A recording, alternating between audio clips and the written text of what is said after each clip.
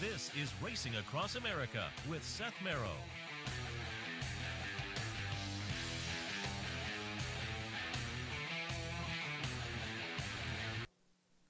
Welcome back to Racing Across America. Wednesday morning means a visit from Jeremy Plonk, horseplayernow.com, Countdown to the Crown. Again, I'd like to tout, tout that Countdown to the Crown column, which comes out uh, every Friday. Previews and reviews comprehensively of the three year old scene, and we'll touch on some of the races that were uh, previewed last Friday in the package because I think there was some good three year old uh, action this past weekend. Good morning, Jeremy. Good morning. Great to be with you, Seth. You know, it's National Signing Day in college football, I was telling you in the break, so this is a very optimistic day of the year if you're a college football fan. And, and horse racing fans, we certainly enjoy that optimism and the thrill of finding that next great prospect. And, and we've got a Triple Crown Fantasy League draft tonight, too, among some of the national media members uh, that I've been part of over the past decade or so. So I've got the number 11 pick, so I don't know what I'm going to be able to do with that this year, but uh, we'll see how it all pans out. Yeah, see if somebody filters down to number 11, how that works out. But uh, and, and the uh, Triple Crown nominations came out the other day, and, and there was a, an omission that uh, struck me, and there was a horse we talked about, I think just last week or a couple weeks ago. Exodus was not on the list. Well, yeah, neither of Larry Jones' really good uh, three-year-old. Bluff, also the a very impressive maiden winner. Uh, Fox Hill Farms, they didn't nominate either, and also Divining Rod, a horse who I have a lot of respect for, that we're going to talk about a lot here in the, uh, during the course of the segment, not nominated as well. So you can nominate later on for six thousand, but you know for six hundred, you figure they throw your name into the pot at this time of year. So uh, a bit of a surprising move there. I don't know if it's tactical, if there's any real reason behind it, but you know you, you would expect horses of that kind of quality from those kind of connections, Lael Stables and and Fox Hill Farms. You'd expect those folks to have six hundred bucks if they have something decent. Yeah, it was uh, that was a little bit of a head scratcher, but uh, we'll see how it plays out going forward. All right, let's get into some of the uh, races. Um, and I sent you the races that, that we were going to look at, and then you uh, re- sent an email back and said you had one more race that you would like to look at. And this is going back to last Friday at Santa Anita. We pulled up an optional claim or non-winners of one other than uh, for uh, three-year-olds going a mile. And uh, we're going to watch the number one Prospect Park get it done. Seven to two, seven to two, second choice in here. The one to two favorite, the Gomper, uh, for uh, Ron Ellis, winds up running fourth in the field of five in here, but it's a pretty nice win from Prospect Park, and I guess you were uh, quite impressed with this. Yeah, Prospect Park was a horse I loved off of his maiden win. He beat Cyrus Alexander and some other horses where he took multiple challenges and was really gutty. And, and I had that horse up at number 12 last week, even before this race went off. And, and now he's up in my top five. I think Prospect Park is a horse we really want to keep our eyes on. He's got the pedigree. This race went in 24s all the way around the track, which you just love to see in a route race. And he exploded home, as you see. I mean, just, just he did it as easy as you could possibly do. A lesson in betting here is, is when handicapping the race and previewing the race. I assume Prospect Park would be about six to five, and the Gomper would be about even money in a five-horse field. But the public went all in on the Gomper. Prospect Park paying nine dollars is ridiculous. You should have paid four or five bucks in this race. So it's one of those where I'll be honest with you, I didn't stick around and watch the race live. I didn't think it would be worth betting. And this is one where I wish I had conditional wagering in because uh, you know this horse at nine dollars in a five horse field was an absolute steal and, we'll see where he goes from here. But it's obviously a stakes race next for him. Uh, Cliff Sise said he's going to try to take the, an easier path if he can find it because the West Coast is so tough. So don't uh, be shocked if Prospect Park hits the road somewhere along the line and looks for something on the road next um, because this is a really good looking three year old. You know, I'm just looking, talking about betting too. Uh, it wasn't quite bridge jumper level, but with the Gomper running fourth, Still, the show prices were okay. Prospect Park pays nine eighty to win, five to place, and five to show. Yeah, and, and you know the, the Gomper was coming out of sprint races, and everybody bought the thought that uh, Ron Ellis was selling that oh this horse is a router, wait till he routes, wait till he routes, and he was really the hype shishi horse, as my buddy Bob Neumeier likes to call him. This is the shishi horse of the West Coast, and everybody jumped in on the Gomper. I'm not sure why. I mean, he looked like I said, even money six to five. The two looked like even with the hype that they're fairly evenly matched coming off of their most recent races. But the public again went one to two on the Gomper, seven to two on Prospect Park, and and really that was a dream. I mean, when, when you're wagering that, when you have a good horse in a short field and an overlay price, what more can you ask for as a gambler? Yeah, as you say, five horse field at almost ten dollars was fairly generous. All right, let's go back to another race from last week during the week, the rescheduled Whiteley at Laurel. Uh, this had originally been scheduled for the prior Saturday. The weather postponed it. They redrew it, and on the redraw, Chad Brown puts in Majestic Affair coming off a win in the Capossela up at Aqueduct on January 2nd. I guess the extra time was just enough to get squeeze this one in another four or five days. And uh, with uh, Majestic Affair coming in, Golden Years comes out. That looked like the only competition. And as we watch the stretch run, that's pretty much as it plays out. As uh, Majestic Affair, as the one to five favorite, wins by almost six lengths. But I think uh, Chad Brown has has a nice one here. He does, and, and necessity is the mother of invention, as they say. Leave the light on, leave the Triple Crown Trail as a proven route horse for Brown, and looks like you know the Remsen winner would be his A-list horse perhaps for the spring. You get horses like this who now step up. Majestic Affair really finished up nicely. There's nothing in the pedigree that tells me that that distance, you know, up, up to a mile and 16th or so won't be any problem. And and like all of them, they have to prove that they can go from a mile and 16th to that mile and eighth and a mile and a quarter. But I like this horse. This was a nice race and, an impressive performance. There wasn't much in the field after the scratch, like you talked about, when Golden Years came out of it. But I think Brown's got himself a good one here. So a horse who's capable of uh, being thrown into the Gotham discussion and see where he shakes out. Um, you know, in a race like that. Uh, but I like Majestic Affair. This was a really good week for the three-year-olds. I'm going to say I like a lot of horses. And you know, in the past, in the past couple weeks, a lot of the commentary has been nice performance, but not a horse I look at for down the road. This past Saturday and, and, and over the weekend, I think there were a lot of good horses we can look forward to. Yeah, I agree. And one that is going to be interesting to watch in the third career start is, uh, is, is going to be Ocean Knight. And Ocean Knight, Sam Davis on Saturday, uh, coming off of that career debut effort, which was very impressive, the middle of December at Aqueduct. So goes off as the 8 to 5 favorite for McLaughlin and Stonestreet. Barbara Banke, I saw her in the winner's circle afterwards, so she had enough confidence to show up at Tampa Bay Downs. We're going to watch the stretch run. It will be number 11, Ocean Knight, getting up by a neck over Divining Rod, the horse you mentioned earlier. And I'm going to be interested to hear your take on this because obviously only the neck win you may question, but I said this on Sunday as we reviewed this race here on uh, OTB TV. A, uh, first uh, stakes race for this horse, first time around two turns. And you know what? I think Divining Rod might turn out to be a very nice horse. So I think this neck win is probably better than it looks.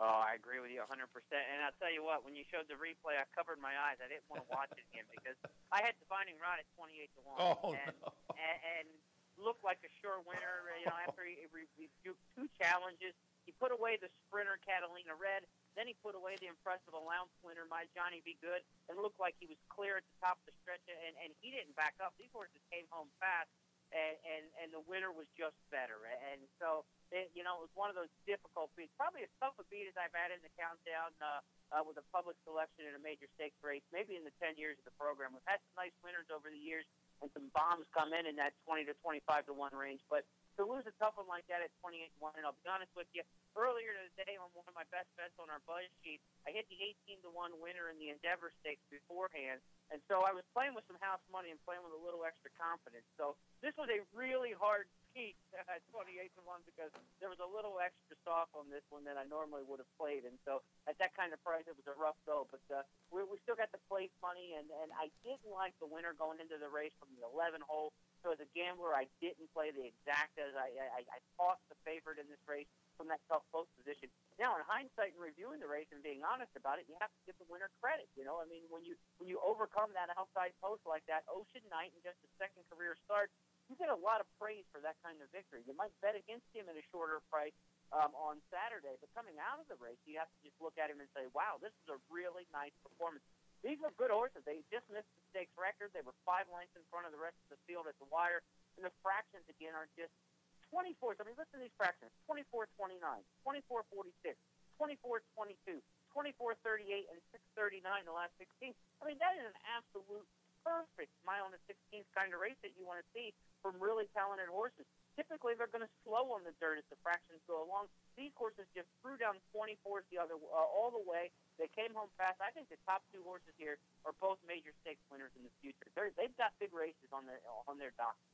And uh, I will remind people the countdown to the crown package comes out on Fridays, and that divining rod selection was right there. You just missed there. But if other folks like the favorite, maybe they took advantage of that $107 exacta. And I will also note in the couple of stakes we're just going to mention coming up, you had the winners of both of those on top. So uh, you can take advantage of Jeremy's thinking uh, with the countdown to the crown package on Fridays as well. And let me just touch on here, pulled up uh, the uh, Louisville Courier Journal Kentucky Derby media poll. Now, this came out Saturday, so obviously some of the weekend results weren't known. You had Texas Red on top, uh, Divining Rod number uh, nine, and I'm seeing uh, Ocean Knight not in your top 10.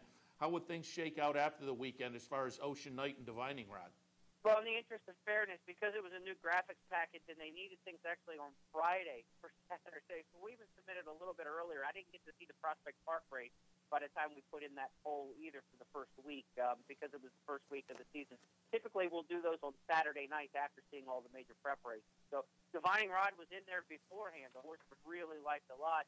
Uh, so Prospect Park, Divining Rod, both move up there. Ocean Knight's going to be right on the cusp of that top 10 as well. Um, I'm kind of working on the top 10 right now and massaging it. There are a couple other horses I like. Uh, um, there's some horses who are running back this you know week that we're going to see for the first time, and, and so um, it's going to be Ocean Knight's going to be in that top 12 area, may crack into the top 10, but he's right in that mix because I think he and Divining Rod are very similar horses. I think they both overcame a lot in that particular race, and so they're not far separated. So if Divining Rod's number nine, then you know that uh, Ocean Knight is right in that same neighborhood. All right, let's go to uh, Turfway uh, on Saturday. The 96 Rock, uh, $75,000, six and a half furlongs, and you might think, eh, $75,000 uh, sprint race at Turfway. Uh, what's the interest here? But you and I talked about this race last week, and it was intriguing because of the eventual winner. The Great War started the career for Aidan O'Brien in Europe. They came over and tried the Breeders' Cup Juvenile and ran fourth. Now, the winners, te- uh, or first three finishers, let's say, Texas Red, Carpe Diem, and Upstart. Upstart, of course, comes back uh, and makes the big win last weekend. And now the Great War continues to flatter the Breeders' Cup Juvenile. We'll, we'll watch the stretch run from the 96 Rock, and the Great War at uh, 1 to 9 wins pretty easily in here for Wesley Ward. He does. I mean, and this is an impressive uh, race visually. The jockey uh, just looking under his arm the whole stretch run. You know, Albin Jimenez looking around for competition and he doesn't find any. And, and the Great War, you know, he was dueled early by Serious the horse that Mike Maker had in there, who was unbeaten, hadn't really run against much, was stepping up out of the claiming ranks.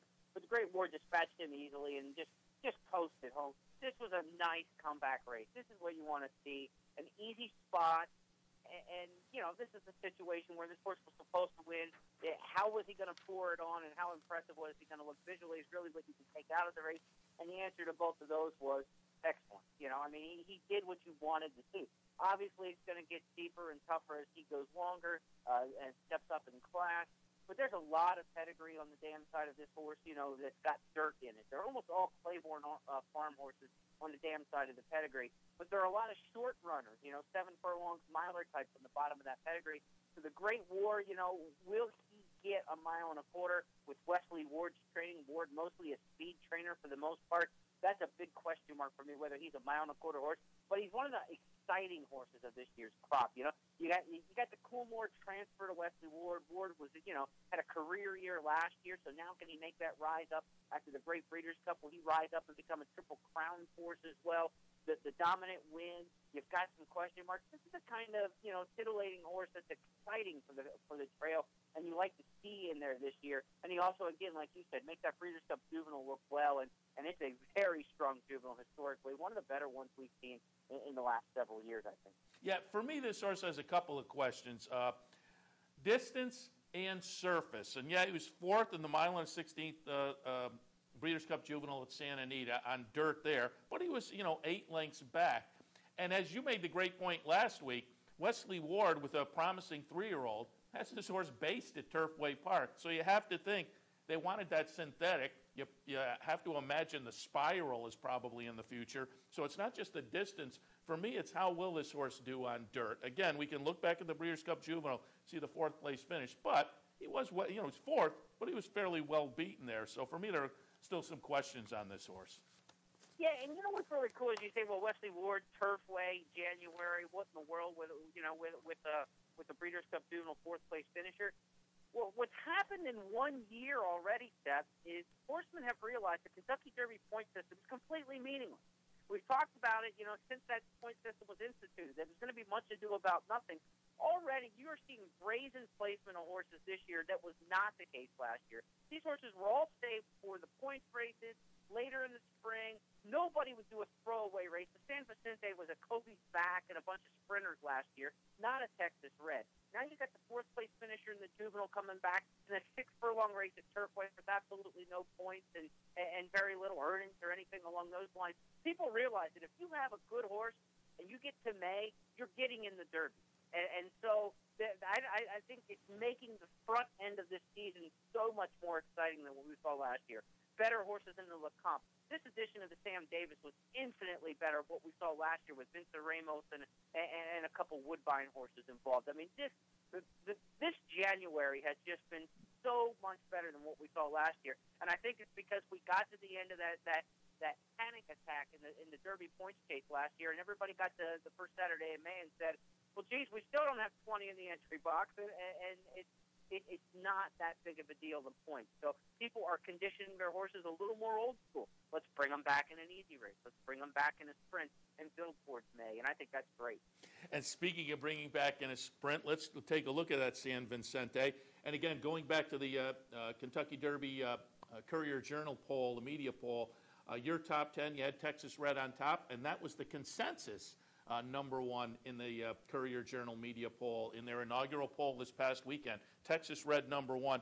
Made the comeback on Sunday in the San Vicente, and again, kind of old school, seven furlongs, grade two event, couple hundred thousand dollars. We had Steve Haskin on Sunday morning with us, and he noted how this was a little bit of an old school kind of thing, and he thought it was a really intriguing spot to maybe put a little speed into Texas Red because he said, you know, speed in the Derby is, is pretty important thing. And so maybe start them out and get a little speed in them. And if it's a second place finish, that's okay and a good foundation to build on. And then Haskin kind of went off on Lord Nelson and how positive he felt about that horse. You also put Lord Nelson on top, as I say, in your countdown to the crown package. We'll watch the stretch run. It will be number one, Lord Nelson, getting it done just barely as the uh, 9 to 5 second choice, over 70 cents to the dollar Texas Red in here. But I think both of these horses uh, acquitted themselves well. And again, I thought uh, for you know the three-year-old debut, the second place finish for Texas Red was a good foundation to move forward from. Uh, yeah, absolutely. If you like Texas Red, you still like him just as much after this race. I mean, it's not all about winning every single race, and, and this was a means to an end. And so, a great starting off point. They came home fast. You know, these horses rocketed home, and and if you like the brisk late pace figures, I think you get something like a 112, which is the fastest of any any horse in their last race in the three-year-old crop. If you look at all the Triple Crown nominees, that 112 late uh, brisk pace figure in this race for Texas Red is the best of anybody in those 400 plus horses in their last start. So great comeback race. It's exactly what you want to see. Both Lord Nelson and Texas Red galloped out very well, side by side, long past the wire. Uh, both look like they had plenty more from a handicapping standpoint, you knew the price would be similar to what they went off, and that Lord Nelson would probably pay about twice as much as Texas Red, and, and, and Texas Red, you know, a good matchup, but who needed the race more? Lord Nelson needed this race to acquit himself after that uh, troubled trip in the Kentucky Jockey Club at Churchill. I thought he couldn't lose that day at Churchill Downs, and he had a bad trip, a wide post, and, and was flat late he needed a race like this to get himself back on the beam, and Baffert tightened screws on him. He won this race, um, and, and now they'll both move on to bigger and better things. Texas Red's going to head to the Risen Star at Fairgrounds. I would also expect Lord Nelson to probably, you know, do the chuck and dive away from Dortmund and some of the other Baffert horses. So Baffert will divide and conquer. You know he's going to frequent Oaklawn Park with American Pharoah. Uh, you know he also goes to Sunland for the Sunland Derby a lot. Uh, Baffert known to go to the Wood Memorial as well. And now Keeneland back on dirt. The last time they had a dirt bluegrass at Keeneland, it was Bob Baffert and Sinister Minister. So you know Baffert's going to have something for the bluegrass as well. He's going to go back to that track looking for some speed. and try to recapture a little history there. So you can see Lord Nelson, Dortmund, American Pharoah, all these Baffert horses starting to plot a path away from each other so that they're not running over top of each other. He did the same thing last year with Opportunity. If you remember, Opportunity uh, ran well early in January in in, uh, in Santa Anita, and then went for two road trips before coming back to the Santa Anita Derby. So I could see Lord Nelson hitting the road, and you know Texas Red, the plan already is to go Risen Star and then come back to the Santa Anita Derby at the end of the spring. All right, and uh, again, the countdown to the Crown package, you uh, preview and review some of the big three-year-old stakes but you also preview some of the uh, undercard races uh, on the weekends, uh, maiden specials, uh, non-winners of one, those kind. And one of the maiden races that you uh, pointed out for this weekend was one that I, I thought had the potential going forward to maybe have a, a, winner that comes out and becomes interesting. That was the maiden special on uh, Saturday down at Oaklawn that featured Conquest Curlinate, who second choice in here. Latrim was the three to two favorite. Uh, will run second, coming out of a maiden uh, uh, or a debut effort uh, down at Fairgrounds. Similar with Conquest Curlinate, only one race prior. That was at Woodbine in the middle of November. But Mark Casse has been going so well the past couple of months. Conquest Curlinate, start number two, wins pretty easily as the 9 to 5 second choice in here. And again, this being only the second career start, obviously benefited from the first out education. And I think this horse is going to be interesting to watch going forward. Yeah, you know, he lost four or five lengths at the start. He kind of bobbled and got shuffled back and, and, and had to make up a lot of ground. And he did it without the most dirt kind of daisy cutter action that you'd expect to see. He was kind of up and down and choppy stride, uh, not negatively, but more like a Turf and Poly kind of horse. So this is a horse who's going to have some options because he obviously can run well on the dirt. This was a nice performance. Uh, beating Latrim was a was a good effort. He was coming out of a good race at Fairgrounds and then chipping over to Oaklawn for Steve Asmussen. These top two horses look like standouts on paper, and they ran that way. Conquest Curlinate now is going to have some options. I mean, maybe he goes to Turfway for the spiral, you know, and goes back to some of that poly form. Uh, you know, maybe he stays on the dirt during the Oaklawn tap. Uh, Casse's done this uh, California to Oaklawn move uh, with some success already. Cancun is a horse who won earlier in the meet. Cancun, surprisingly, was one who wasn't nominated to the Triple Crown. I thought uh, that, that may nominate that runner as well. But Conquest Curlinate is a Triple Crown nominee, and I like this win. And, and again, he beat a good horse. Latrim is going to be two to five next time in a maiden special at Oaklawn and, and, and graduate. So this is this was a good performance. It was a split division race. Uh, they also went uh, in race four earlier in the card. Magic of Believe in one for Kenny McPeek, and, and Magic of Believe went a little faster, but I think the fractions were the cause for that race. They went in very similar final time, but the Magic of Believing race was a little bit quicker. But I think looking forward as a prospect, Conquest Curlinate looks more impressive to me than Magic of Believe. All right, and finally, let's uh, just take a little preview. And again, I'm sure you will have a more uh, comprehensive preview uh, in Friday's Countdown to the Crown package. But coming up on the weekend in New York is the Withers, and that means El Kabeir. And El Kabeir coming out of a win most recently in the Jerome. Prior to that, the Kentucky uh, Jockey Club. Um, so obviously, the, all eyes will be on him. But classy class coming out of uh, the Remsen last time out of fourth place finish could be interesting. General Bellamy is a potential starter. A couple of uh, Chad Brown runners, March and Market uh, Conduct combat diver for Gary Contessa, who uh, was well beaten in the Remsen, but has been off since then and may come back a little bit as uh, an improved three-year-old, although that one is also looking at the Miracle Wood down at Laurel. I- am anticipating kind of a fun field in here, but as I say, all eyes will be on El Kabeir. Yeah, El Kabeir's got that, uh, you know, national name, but yet a winter horse at, at uh, Aqueduct. We don't see that too often on the trail where horses kind of made them name for themselves and then didn't ship out and go to Florida. So he, he's going to have the, the leg up. I think March is an interesting horse for uh, for Chad Brown, like we talked about. That necessity is the mother of invention. Again, here's another one who's going to stretch out and see what he can do. He really impressed me uh, off his last couple races and it's time for him to make the step up in the distance challenge. I think March is one of those horses uh, for Chad Brown who can kind of come up and fill the shoes a little bit for Leave the Light On. Peter McLaughlin's always very tough in the Withers. Historically, you can find all the stats and trends uh, for the Withers history on our Countdown to the Crown preseason annual. So that magazine, you know, continues to give you a weekly prep preview. And if you look at the trends of the withers, you'll know uh, just looking down quickly that that Kieran McLaughlin always has a horse ready to roll um, in this race. So I would expect that McLaughlin, uh, whatever he sends out, I think Mafouk might be uh, his representative in the race. I would expect him to be uh, cranked and ready for this particular event. And uh, also coming up on the weekend, Kentucky Derby Future Pool 2. I wonder if you t- have taken a look at the morning line odds, you see anything of interest in here. And I'll just mention Divining Rod not on, so it looks like you have to take that even money morning line uh, on the mutual field if, you, if, you, if you're tied into that one. Yeah, you know, I'm looking for something 40 to 1 or Yeah. more this time of year. And so, you know, we'll play the odds and, and, and see what uh, uh, comes about. But if you don't get at least 40 to 1 this far out, I mean, look, it's preps away from the Derby.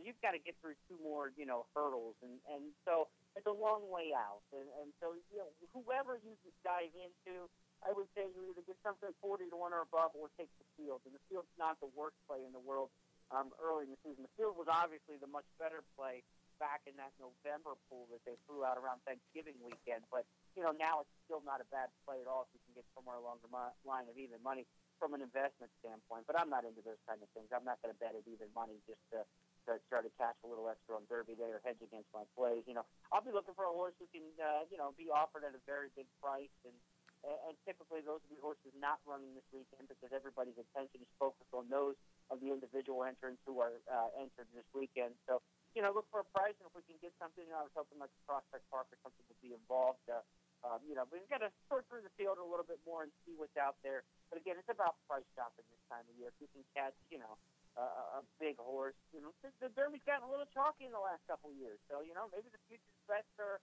are, are something that are a little more appealing to folks now because you know you know we think about Giacomo and Mine That Bird and, and horses like that and say well why take you know 21 now when I can get 40 50 to one on Derby Day but you know after watching Orb and uh, California Chrome and shorter prices the past couple of years you know maybe something in that 30 40 to one uh, right now uh, to make your Derby Day a little bit more exciting. Well, the two on the morning line that look a little bit interesting are uh, Far Right and uh, Ocean Knight at 50 to 1. We'll see how that plays out by Sunday, but at this point they look a little interesting. And Jeremy, before we let you go, just wanted to uh, note, you know, there are plenty of times we uh, question trainers and which races they pick, jockeys in the heat of the moment, go inside, go outside, making decisions. But it's not just horse racing because we watch the Super Bowl on Sunday night and they can make bad decisions in every sport.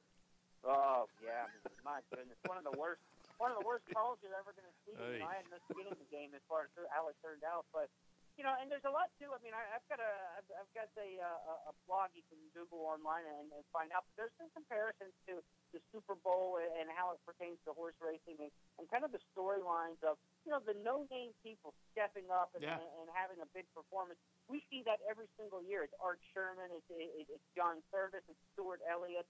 Uh, we see it all the time in our game, and, and and that's what makes horse racing so awesome. You know, in the Super Bowl they saw it, and it became this national deal that you know, oh my goodness, these guys, Malcolm Butler, we've never heard of, saved the Super Bowl out of Western Alabama University. You know, and and the guy who was uh, working at Foot Locker ended up getting 100 yards. Uh. Matthews. Yeah, Matthews. You know, so we see this every single year in, in, in the Kentucky Derby, and that's why Red Smith and, and the great sports writers of the past love to cover horse racing because in the Super Bowl, everybody's like, "Wow, this is a once in a lifetime thing."